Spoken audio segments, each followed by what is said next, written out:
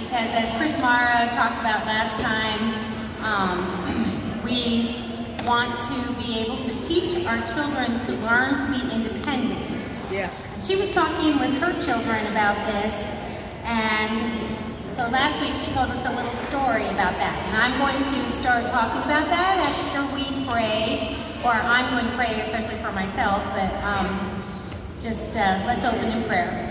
Father God, we just come to you today. We thank you for this opportunity to gather together. We pray, Lord, that you will bless our homes. You will bless our uh, families as we do what we need to do to either lead our children or be uh, good um, grandparents or uh, spouses, Lord. That's what GEMS is all about, to just help us in our homes and our families. Pray, Lord, that you will, I just ask, Lord, you'll be with me today and that you will calm my heart and help my words to be clear.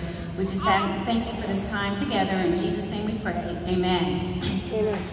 So last time, as Chris Mara was telling us, she had been having a chat with her children about learning to be independent, and she gave the illustration about a mama bird having hatchlings in the nest.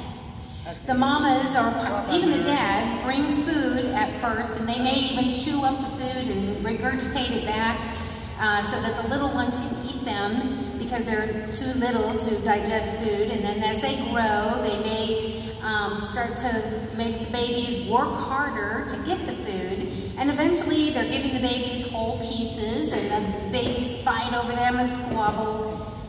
And they've learned and they've accomplished the whole thing of eating and they've grown. And then it's time for them to learn to fly. And some of them will hop out on the limb and flap their wings and twaddle back and forth, just like our little toddlers do. But they like to stay close to the nest. And then some of them fall out on, um, to the ground, out of the nest, and the parents start doing the training on the ground, the, the parent birds. Some of those babies never go back to the nest. Human parents may not do the same thing as a bird. However, we are supposed to train our children and raise them to become functional, independent, useful people that will serve the Lord in the way that he calls them to live. We, unfortunately, live in a world today where most young children, or yeah, most young children know how to operate cell phones, play video games, and find Netflix on the smart TV. Many are good at playing sports or playing an instrument. They may attend practice and concerts, and the family is often consumed with extracurricular activities. But so many children nowadays and adults have no real skill sets for surviving and doing real life. I read an article recently that was from a man over in England, and he was talking about many children and adults are digital age geniuses, but if you ask them to pump up a tire or boil an egg, you might as well have asked them to go to the moon. They simply have no idea. Basic life skills are on the endangered list, with fewer young adults being able to perform simple tasks like sorting their own laundry or ironing a shirt. It is a disturbing trend. Many young people, people are incapable when it comes to essential housekeeping duties. One woman was very surprised when she asked her 16-year-old son to write a handwritten thank you uh-huh. note and mail it. She learned he did not know how. Not only had he never addressed an envelope, he had no clue where to place the stamp. Oh, 16 years old. he had only used email, text messages, oh. or other social forms of media when thanking people. Now, I would say that I blame the parents for this, but this is part of the problem. Parents are not parenting. This alarming lack of knowledge is, when it comes to performing menial tasks, is a major problem for business owners who struggle finding competent employees and apprentices. You can have these smart, educated children turning up for work showing up for work, but they have absolutely no practical life skills. There are 10-year-olds who still have their parents lay out their clothes and squeeze the toothpaste on their brush every morning. This causes children not to be able to cope in the real world. Our children can build magnificent worlds on Minecraft, but have no idea how to use a screwdriver, run a lawnmower, fix a flat tire, or make a proper bed. They're growing up to become with no knowledge of traditional skills and how to become an adult. One woman openly admitted to making her daughter a freshly squeezed glass of orange juice every morning. And when her teenager hops into the shower, her mother makes her bed, places out a clean school uniform, and has a toasted cheese sandwich waiting for her to walk to the bus. Kids are, and young adults, are dependent for much longer. We're hearing over and over and over again of young people living in their families' basements, sometimes at 30 years old. Just the other day, I saw a story about a 20-something young woman living in her parents' basement. Her mother told her she needed to move out. She gave her six weeks to find a place to live. The mother was tired of her living rent-free and doing nothing. But there are so many households where children have been raised to do nothing and not do the cleaning, not help with the cooking, because the parents do it all for them.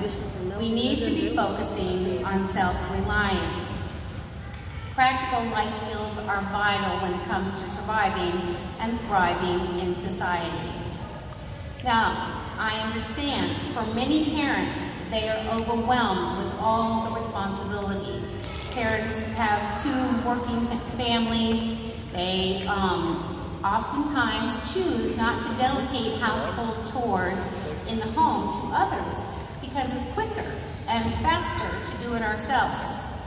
Some moms believe it is their job to do it all for their child, to pick up after them, clean the house, and clean the child's room, and to cook everything, and to cater to all their needs and wishes. Did God really design the family to be like that? What is the purpose of the family? If you find that it's too hard to teach your children or to have them help you because um, it's a, it makes it a bigger chore, I often think we have to ask ourselves, why did we want children in the first place? We wanted children to raise them up, right? So why are we complaining or why are we saying it's just too much to teach them how to do things? Do we quickly our, lose our patience when they don't do it right? Do we tell them, never mind, that we'll take over the job and do it ourselves? What did we think parenting was going to be like? What is a parent to be doing? I looked up the definition, um, this is just one, um, there's many, but a definition of parenting came, parenting or child rearing promotes supports the physical, emotional, social, intellectual development of a child from infancy into adulthood.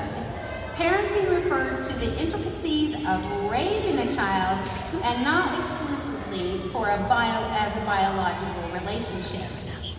Good parenting involves a great deal of consistency and routine, which gives the child a sense of control. Good parents Good parenting focuses on developing, and this is our word, independence in children. So redundancy becomes the aim for the parents. Good parenting involves a style that considers the child's age and the stage of developing. But parenting, ladies, is work. Oh. We all know that. But a lot of times we want to make it easier on ourselves by taking it over and just doing it ourselves. Parenting is hard work. And as Christian, that includes raising up generations to give glory to God and serve Him. God expects us to train our children to be adults capable of flying from the nest and living well independent from the parents. Proverbs 1:8 says, My son, hear the instruction of thy father, and forsake not the law of, the mother, of thy mother. To do that, we as parents need to be active and involved with our children and the main teachers of our children. Going back to that 20-something girl who was living in her mother's basement, when her mother told her that her time was up because the girl had not tried to move out, she screamed and she cried. The girl, I saw a picture of her, had blue-green hair, many piercings, claimed to be transgendered, claimed to be schizophrenic, and a few other things that she said would cause her not to be able to get a job and move out. She felt she had too many problems and could not afford to pay her mother rent. She or her mom said she did not care. Her mom said she was done promoting, having her promote her lifestyle, not help in the home, not, and when she had money for her hair dyeing and piercings, but she didn't have money to help at home or even make any effort. I asked, how did this mother let it get this way? Did she not see as the child was coming up? Was the mother not doing things when she was young to help her learn how to function? I have to place the blame on the family, the parents. Um, it would seem that she, where were both parents? And it would seem that the parents let her learn either from the school or from her friends or from the social media or the television, but they probably were not active in training her. I really don't know because the story did not go into that. But we need to recognize as parents, grandparents, aunts, and even siblings that we have a responsibility to be raising up the next generation to be godly, capable, and independent adults and is going to be taking, rolling up our sleeves and getting to work. I remember in my own home as a young child doing work at home. I was so little that I had to stand on a chair to wash the dishes. My mother was usually in the kitchen with me, as well as the rest of the family members, all doing chores to get the food put away and the kitchen cleaned up. We all cleaned off the table. We all had a job. Somebody's job was to wipe the counters and the table, sweep the floor, so that when we left the kitchen, the job was done. My parents taught us what to do and how to do it. We did most things together with our parents, like my father teaching us how to mow the lawn. We gathered sticks so that they didn't get run over by the lawnmower and damage the lawnmower. We washed the cars together. We folded clothes together. No one went off to play on a device or um, go off to do their own thing watch a movie while our parents did all the work. So for children today, I'm suggesting that we get back to the way it used to be. It's character building. It teaches survival and helps parents to bond with their children. Before I was married, I taught preschool handicap for Crossroads Rehabilitation Center. My philosophy was to teach each student to be as independent as possible, no matter what their handicapping condition. I would require every student to complete every task that we were teaching, no matter what their limitations were. Many parents would come into our classroom or look through, we had two-way mirrors, and they would come in and they would be in the little um, section where they could watch in the classroom and see what was going on. And after class, they would often come up to me and say, how did you get my child to do that? Mm-hmm. and I said, well, part of it was because of our constant repetition. If they wouldn't do it the first time or couldn't do it the first time, it was reintroduced over and over and over. We had some children who were very tactile and defensive and couldn't touch things like shaving cream and we would just keep working at it and working at it until one day they might just jump in and, you know, and get it all over them. But I expected them to try. I expected them to make the effort, even if I was making the effort with them to put their little fingers in there or to touch the things they didn't want to or to pick up a toy. Many of my, my parents had no expectations because their child had a handicap. Many times, over and over, I explained that if they did not want the child to, to be, if they want, did not the child to be able to do anything as they grew and became an adult, just don't expect it. But if they wanted them to be able to function, and if they wanted them to be able to have some skills, they had to push them to the goal. It's the same way with our young ones. If we want them to be capable adults, we have to start when? When do we start? Hmm. My answer is we start when they're born. We start right after they come out of the womb. And don't worry if you miss that boat because you just start where you are. My children were taught to make their beds when they were moving and walking and able to stand oh. while they were in the crib. My mother-in-law thought that I was just a big old meanie and I was too tough on them and that was my job. So I asked her one day after we had another discussion about this, I said, so at what age do we start teaching them to make their own beds? And she really didn't have an answer. She said, well, when they're capable of doing it. I said, well, Lauren is capable of pulling up her blankets. She's capable of putting her little stuffies in the corner. She's capable of putting her pillow down. And when she looks at her little crib, still standing in it and messing it up at the same time, she's all proud and she says, look, Mama, I made my bed.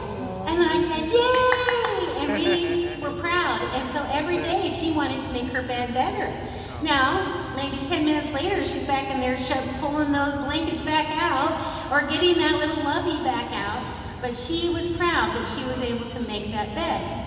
I didn't go in there and say, oh no, touch it. You know, you made it, it looks perfect now, so we need to leave it. That's where we have to let our expectations, our, our perfectionism go. You know, we need to let them do things and we need to be able to let them recognize that they are capable. How about this? Think about this. A young child is able to be playing on the floor with another child and they're able to grab a toy from someone else and claim it and say, mine. If they can know that that child is theirs or that toy is theirs, they can also know that they have to take care of it, and they can put it away. If they're able to get a toy out, why can't they put it back? Okay?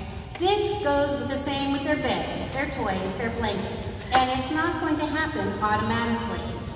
And most babies are not aware to put things away until you tell them to. If you are done with this, let's put it back in the box before we get out something else. This is the start of teaching that child that you can't see right now to being an independent adult. This is the start at the very beginning. there are so many things children can do if the parent will take the time and accept it as not being perfect. Little things like putting the silver away, help emptying the dishwasher, throwing the trash away, putting socks together and in the right drawers, I know it takes your time and attention, but that is really what your job is, training the gifts that God gave you.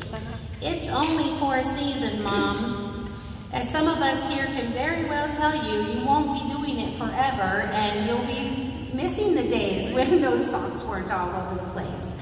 If you teach now, they will learn those valuable skills and you will be building up the, them up for bigger, greater, and more responsibilities, all which build all build on themselves to help them grow into young adults.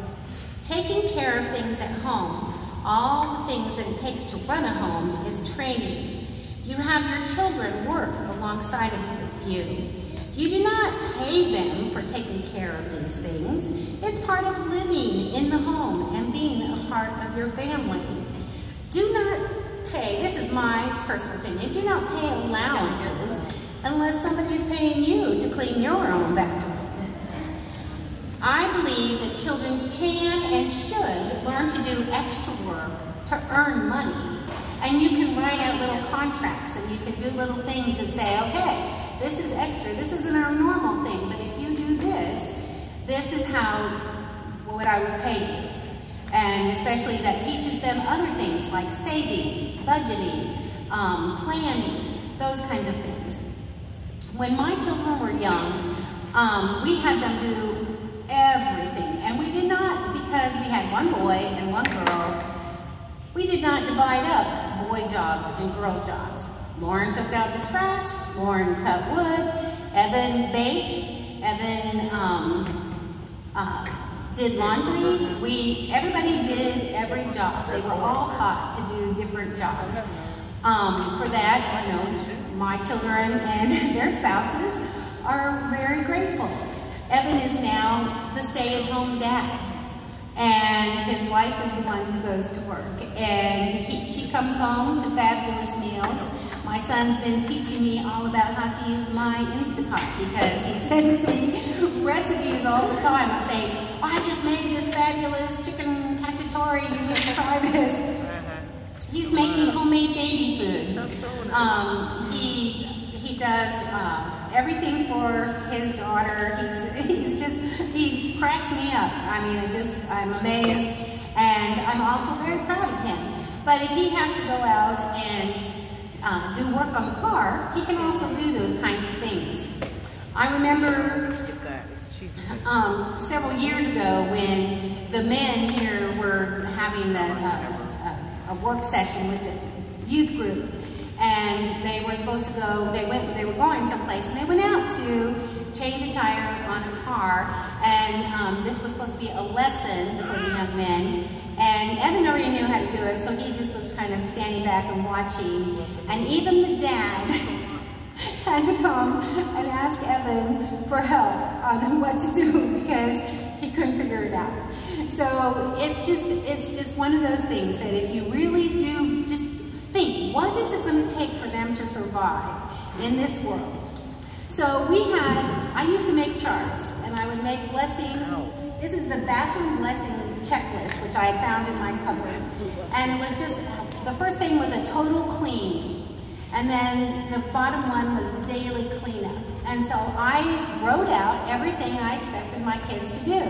Now, did I just say, here's the checklist, go do it? No. When they were little, and younger, I took them in there and I showed them and we worked together until they learned how to clean a bathroom. And I said, now that you've got this, I expect you to check this list. We also, I kept a little chart so they could check off what they did. They came in and said, I'm finished. We went in and inspected it together to make sure it all got done. And then if it did, they were free to go. If it didn't, then they had to go back and fix it. There are lots of charts out there that tell you things, life skills. I was going to make copies, but my printer was being very bad and would not help me along here. There's life skills for kids. There's practical things that children can do, like at the ages, you know, divided up into ages. So if you're not sure, um, look those kinds of things up. Or just even say, I'm just gonna have my child alongside of me. We, uh, my grandchildren were here recently, and my granddaughter was right there with my husband as he's doing work, and she, he gives her a wrench and he lets her pretend that she's doing stuff so that she can learn how to do it. Yeah, um, there's a whole list of 40 old-fashioned skills that children need to know, like writing a letter or balancing a checkbook. Even though we don't use, a lot of people don't use a checkbook, how to do a ledger, how to balance, how to keep track of your money is important. Um, all of those kinds of things need to be taught to our kids, and we can't expect the schools to teach them everything. So, along with that, when we're trying to train our children in practical, practical skills, we need to train them in the nurture and admonition of the Lord. While we are teaching them to be independent in their lives, eventually being able to go out, we want them to be dependent on God because apart from God, we are nothing. Christian parents are attempting to provide their children with a tangible example of what God's love is for them. When people are truly loved and cared for by their parents, they get a small glimpse of what God's love for us looks like. Studying and learning how to live a Christian life that is dependent on God for all things. God's word tells us that we need to train up a child in the way he should, should go, and when he is old, he will not depart from it. We want our children to be faithful to God. We want our children to live in peace. And Isaiah 54, 13 says, And all thy children shall be taught of the Lord, and great shall be the peace of thy children. We want our children to have the example being set by us and learning with us. And it says, My son, hear the instruction of thy father, and do not forsake the law of thy mother. Do our children see us studying God's word? Do we have family time of learning about God? Do they hear us and see us pray? Do we have them pray for the family and for others? Sometimes we're not real successful at this because we don't have our priorities straight. We want them to be successful in school and in music and in sports, and we put God and Christian training at the bottom of the list. Does baseball practice come before Bible time? Do we need to set, uh, um, we need to set God above all in our lives. Before school, before church, activities, friends, phones, computers, sports, yes. God needs to be first. When you're running late, even when you're running late, pray with them. Pray in the car. Ask them to pray for things. Let them lead Bible time and let them lead prayer time. God tells us that our children are a heritage and, a, and, the, fruit of our womb. And 3, third, three John, third, third John says, I have no greater joy than to hear that my children walk in truth and to bring them up in that nurturing admiration of the Lord. God also tells us to correct our son, and he will give you rest. The first thing you need to be able to do to carry out this duty is to know that you are saved, and that you are a child of God, and that Jesus Christ is your Savior and your Redeemer. You need to know who Jesus is and why he came, and that he lived a sinless life and died to pay the penalty of your sins. You need to accept this free gift of salvation yourself. If you have never accepted Christ as your Savior, please feel free to talk to one of us. We would be honored to show you what to do to become a member of God's family. And then you can teach your children. While we grow our children to become independent, we pray that they will become more and more dependent on God and learn to walk in that dependence and trust in faith. It is a daily walk, a renewing of the mind, as Romans 12, 2 says, Be not conformed to this world, but be transformed by the renewing of your mind, that you may prove what is that good and acceptable and perfect will of God. This is what our children must see in us. In all of our situations, we need to be completely dependent on God. When the car won't start, when the computer wouldn't work for me last night and this morning, we need to live by God's word and teach them what God tells us, how we can trust him and we can lean on him for all of our life's battles. For I am the Lord your God who takes hold of your right hand and says to you, Do not fear, I will help you. Isaiah 41, 13. In their hearts, humans plan their course, but the Lord establishes their steps. We need to be giving them these verses. We need to be filling them up with these things. Keep me safe, my God, for in you I take my refuge. That's where we need to be. We need to say, God will fight for you. You only need to be still. We need to let our children see and feel and grasp who God is and how great he is. And if we're not setting that example, if we're not telling them, if we're not writing it on the doorposts of our home, as the Bible says, then they're not going to see that. They're not going to gather that, and they're not going to understand. So how can we do that? We need to rejoice in his miracles and the works that he does in our lives. So just real quick, first, make sure to rescue yourself.